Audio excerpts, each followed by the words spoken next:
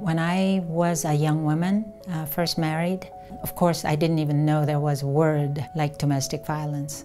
All I knew was that I was not being respected as a human being.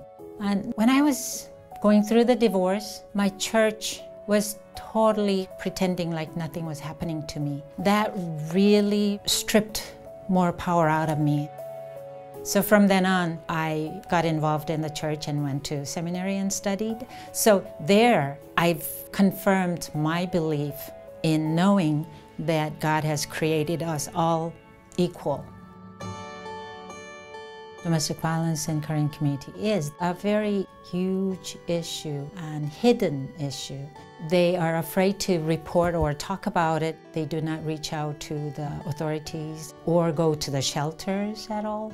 It's a taboo thing to seek out help. I think that it is very important working with Korean faith leaders. In LA area, over a thousand churches exist. The messages they hear at the church is very significant.